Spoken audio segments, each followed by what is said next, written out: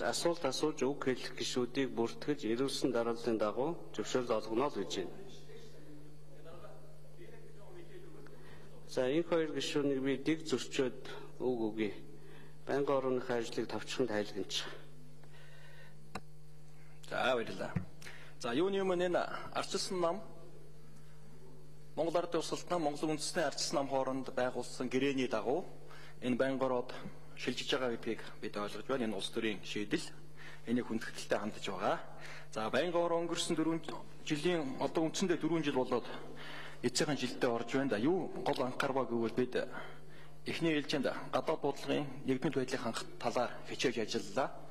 Энэ үг хэлэхэд гадаад бодлогын нэгдмэл байдал нэлээд алдагдсан. Яам тамгын газар бие даасан бодлого бүр зарим тохиолдолд орон нутаг аймгийн засаг дарга бие дааж гадаад айл шийдэг, гадаад арга хэмжээ зохион байгуулдаг. Гадаад улс орноос хандив тусламж үлтэр авдаг. Нилийн замбраагүй байдал нэлээд хавтгаарсан байсан. Энийг байнгын хороо онцгойлон анхаарч ажлын хэсэг гаргаж манай Дэмбэрэл гишүүнээр хахалсан ажлын хэсэг ажиллаж үйл ажиллагаанд үнэлт дүнэлт өгсөн. Энтэй холбоотойгоор гадаад бодлого нэлээд нэг зэгцэнтэй орж байна. Хоёр өршийн бодлого үндсэндээ гадаад хэргийн яам дээр зангидчих. Засгийн газар хоорондын комиссийн ажил үлтэр нэлээд зэгсэрлээ. За энэ үйл ажиллагааг улам цааш нь сайжруулах үүднээс гадаадд сууж байгаа дипломат мэрэгжлийн албан хаагчдын чадварыг сайжруулах чиглэлээр үүрэг даалгавар өгч гадаад хэргийн ямар шахаж ажиллаа. Энэ хүрээнд одоо мэрэгжлийн шалгалтуудыг авагдлаа. Мэргэжлийн бус одоо дипломат албанд орсон олон улсуудыг албанаас одоо нэлээд чөлөөлсөн, цэвэрлсэн ажил болсон. Та бүхэн анзаарж байгаа бол сүүлийн томилогдсон элчин сайд төлөөлөгчийн газрын тэргүүнүүд дандаа мэрэгжлийн одоо дипломатууд томилогддог болсон байгаа. Энэ бодлого цаашдаа үргэлжлэн явагдаж байна.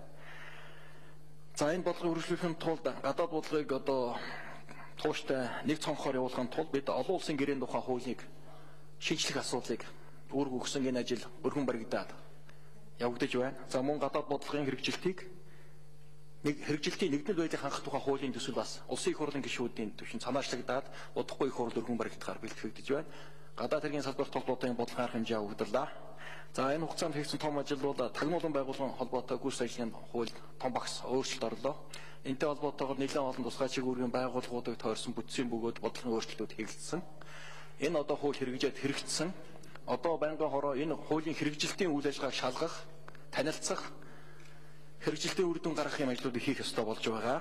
За хамгийн томоохон ажил бол олон жил хүлээгдсэн үндсэндээ хоёр их хурал дамнаж хүлээгдэж байсан. Батлан хамгаалах бодлого эзлэн батлагдаж Монгол улсын Монголын төрийн цэргийн бодлого нийгмэр боллоо.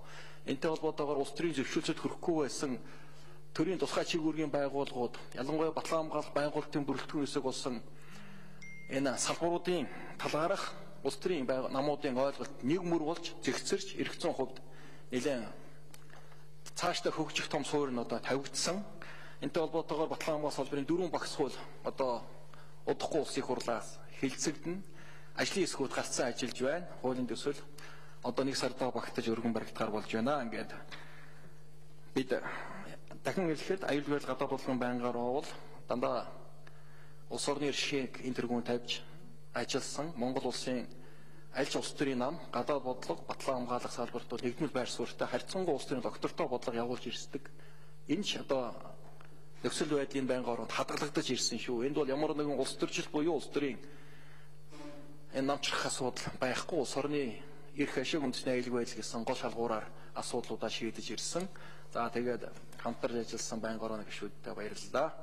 Нэр дэвшиж байгаа сонирбэл сайдад ажлын амжилт хүсье.